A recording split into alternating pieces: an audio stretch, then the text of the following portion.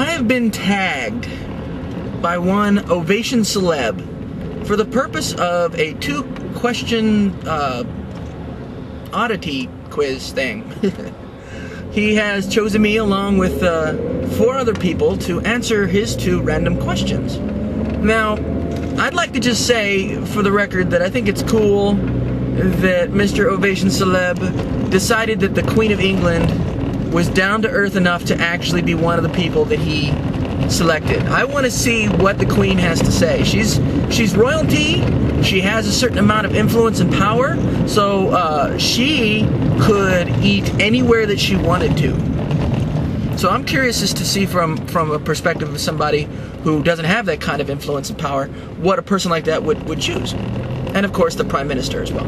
But uh, the two questions that he asked that he would like an answer to from me are number one, if you could have one free meal anywhere in the world, any restaurant.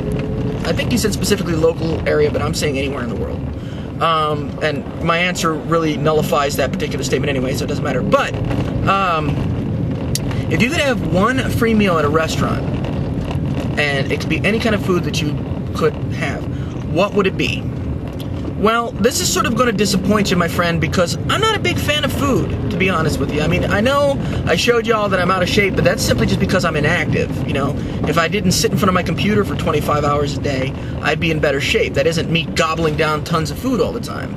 I'm just as happy eating cornbread as I am eating filet mignon. If it stops me from being hungry, then it did its job. You know, I, am just as content um, gorging myself on the breadsticks waiting for the food to show up as I am for the food itself. So, to be honest with you, uh, you know, I, it doesn't really matter to me. If it's free and it's tasty and it stops me from being hungry, cool, I'm happy. Uh, so yeah, that's pretty much my answer to your first question. And my second question, or the second question that he asked me was, uh, or asked us was, do you prefer a wet shave or an electric razor? And I have to say that they both have their merits. I mean, you can see I'm a hairy dude. They both have their merits, um, but I would personally probably say that a wet shave is better than an electric razor because of the simple fact that if an electric razor isn't fully charged, if it's kind of like running low on the battery or the battery's wearing down, um, the, the blades don't spin fast enough and it's like pulling the hair out of your face rather than actually cutting it.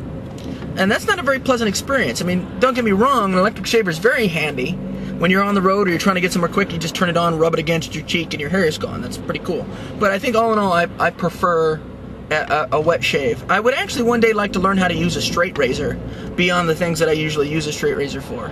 Um, to, to learn how to shave because you have to actually pull the skin against the blade rather than push the blade. It's there's a it's a, a particular technique that I, I would probably end up missing most of my. You'd have these big scars and holes where my cheeks would be from me trying or splitting my throat open or something. Be a Sweeney Todd reenactment. Um, so yeah, those are the two questions that he asked um, that I answered. And now apparently my responsibility, because I don't do these tag things, but um, I got a particular message from him asking me if I would be so kind to, so I am. Um, so I have five people that I um, am going to uh, ask these two questions to, and those five people are right there. Um, my first question is this. We live in a pretty messed up world. There's a lot of horrible, horrible things that are happening. If there was one thing that you could remove from existence, what would it be?